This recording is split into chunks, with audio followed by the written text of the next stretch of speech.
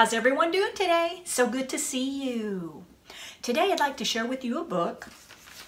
It is called The Day the Crayons Came Home.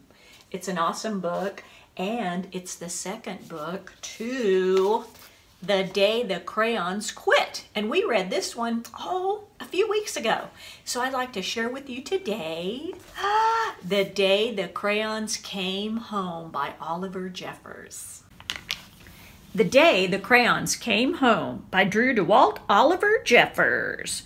From the creators of the number one best selling book, The Day the Crayons Quit with permission from Philomel Books. The day the crayons came home.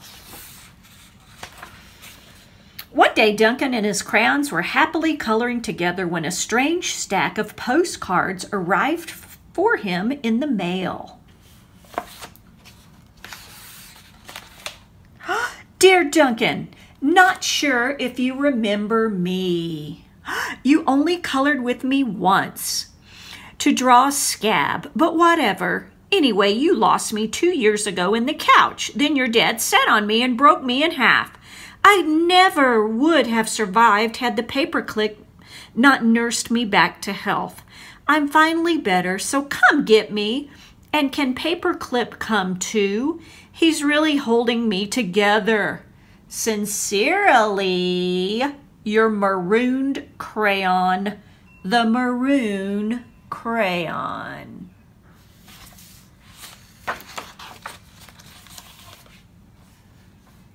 Dear Duncan, no one likes peas, not even no one likes the color pea green, so I'm changing my name and running away to see the world.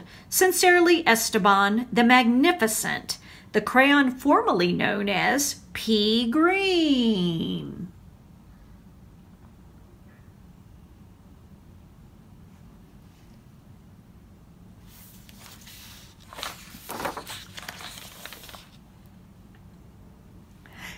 Hi, Duncan. It's me, Neon Red Crayon. Remember that great vacation we had with your family? Remember how we laughed when we drew a picture of your dad's sunburn?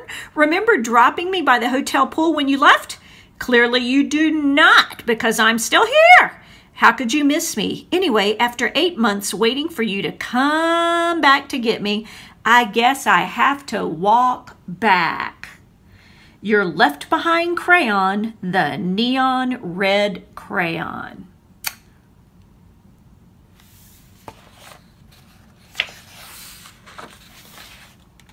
Duncan, it's us, yellow and orange. We know we used to argue over which of us was the color of the sun, but guess what?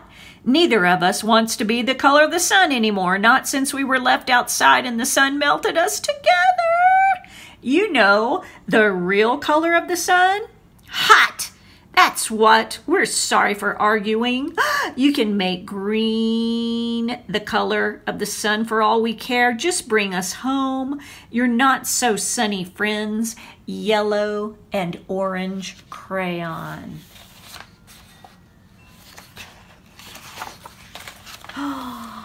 hey, Duncan. I'm sure you don't recognize me after the horrors I've been through. I think I was the tan crayon, or maybe burnt sienna. I don't know. I can't tell anymore.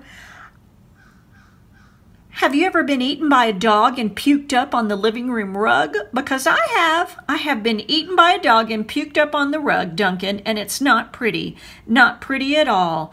I'm more carpet fuzz than crayon now. Can you please bring me back? Your undigestible friend, tan or possibly burnt sienna crayon. Ooh, that was weird. Let's see. Dearest Duncan, um, could you please open the front door? I still need to see the world. Sincerely, Esteban the Magnificent. oh, Look at this one. Hey, Duncan, remember last Halloween you, told your little brother there was a ghost under the basement stairs? Then we drew that scary stuff on the wall. Sure, that was funny when he ran screaming, right? But it wasn't so funny when you forgot to take me out of the basement. Please come get me. I'm kind of terribly horrified. Your scared friend, the glow in the dark crayon. And these are all addressed to Duncan's bedroom upstairs in the house. Again, Duncan's room, Duncan's house. Dear Duncan, looks like I'm almost home. Been through China, Canada, France, I think. Just crossing New Jersey by camel now. pyramids, giant pyramids, right? See ya. Soon. Signed the neon red crayon. P.S. Next stop, the North Pole, I think. Oh my goodness, he is traveling.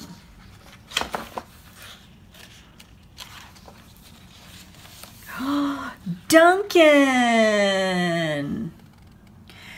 Does page 8 of Pirate Island ring a bell? Kind of a big payday for Captain Greenbeard there, don't you think? And no bronze or silver in that pile, huh? I told you I'd make me blunt and if you colored each coin individually, but would you listen? No. I also told you those stupid crayon sharpeners never work. Did you listen to that also? No. Now I can't color anything at all. Your pointless friend, the gold crayon.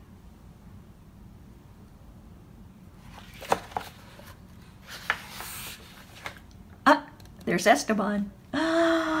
Dear Duncan, I've seen the world and it's rainy. I'm coming back, Esteban the Magnificent.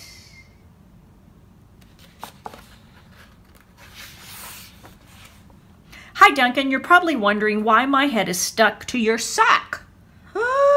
A question I ask myself every day. Well, it's because last week you left me in your pocket and I ended up in the dryer. I landed on your sock and now he's stuck to my head.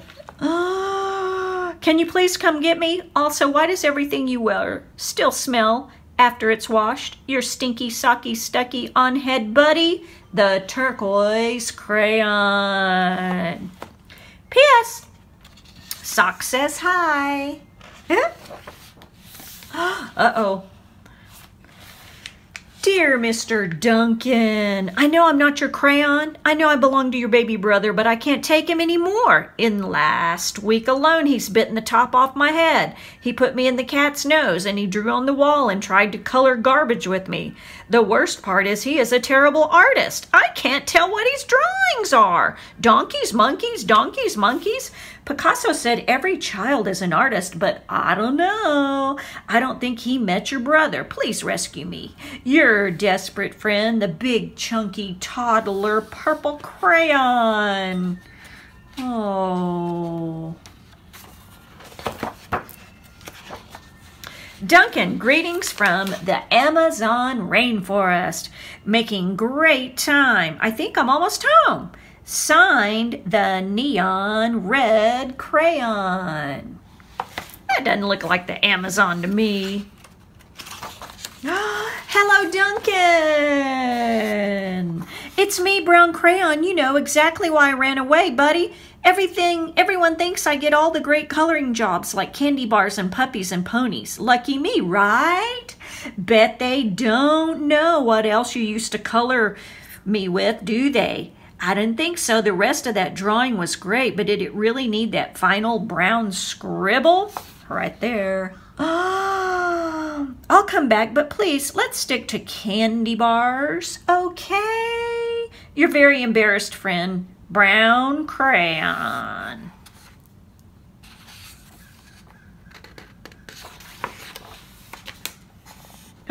Look at all of these postcards. Duncan was sad to learn all the crayons that he had lost, forgotten, broken, or neglected over the years. So he ran around gathering them up. Duncan's crayons were all so damaged and differently shaped than they used to be that they no longer fit in the crayon box. So Duncan had an idea. He built a place where each crayon would always feel at home. There's no dogs down there, are there? No, no turkeys either. Oh, you flatter me, but it's not real chocolate. Let's have a party. This one is from my blue period. but it's not really blue, it's more lilac, said Pink. Look at all this neat stuff. Now all the crayons can live in here. Make sure it's straight, he says. I think that door is for us, yellow and orange. Ah, there you are. I could use a haircut, says the pencil. Oh, look at the dark green is drawing with the light green, a teddy bear. Who are you wearing? Oh, I think he goes by Ted. I'm Ted, said the sock. Looks good, lads. Look at that one. I like that one. nope, there's a metal detector. Oh, he's got a good pencil sharpener. And no, I think everyone is welcome. How cool is that? Really neat big place for all the crayons. And then in Cleveland, I got to hike the Great Wall of China, says the neon crayon. that was great. She's with Esteban and they're seeing the world. Very neat book.